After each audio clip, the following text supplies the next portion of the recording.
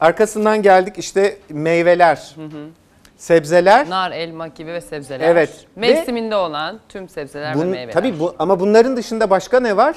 Damar sağlığı için önemli olan bu insanlar neden çok yaşıyor? Çünkü fiziksel aktiviteleri çok Aktivite yüksek. çok önemli evet.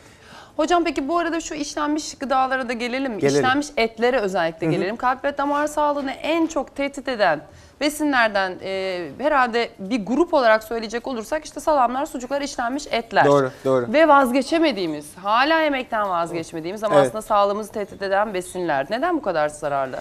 Şimdi şöyle kırmızı et ile ilgili tartışmalar olduğu zaman ilk zaten söylediğimiz her zaman şudur. Yani tamam kırmızı et diyorsunuz da neden bahsediyorsunuz? Yani çünkü Evet. kırmızı et dediğiniz zaman işin içinde döner de var, büftek de var, Sucuk da sosis var, de var, salam da sucuk da var. var, salam da var. Fakat nitrozamin dediğimiz bir takım bileşikler oluyor bu işlenmiş gıdaların içinde ve bu nitrozaminler özellikle mide kanseri gibi sindirim sisteminin kanserlerine neden olabiliyor. O yüzden işlenmiş gıdaları mümkün olduğu kadar tüketmeyin diyoruz. Evet. Tabii ki hani bir akşam.